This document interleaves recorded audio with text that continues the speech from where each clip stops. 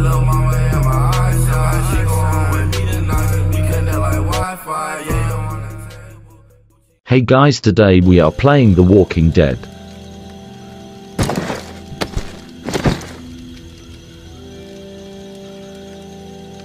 And we are going to make the katana.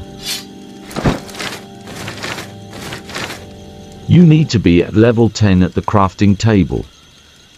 So you can unlock the katana. You need 6 shafts, and 10 sharp objects, and 10 wood scraps, then build it.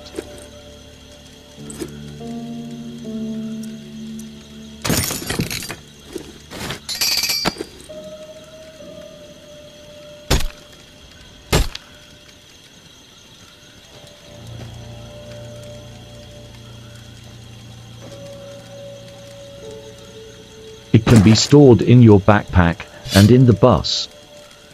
I hope you liked the video thanks for watching guys bye.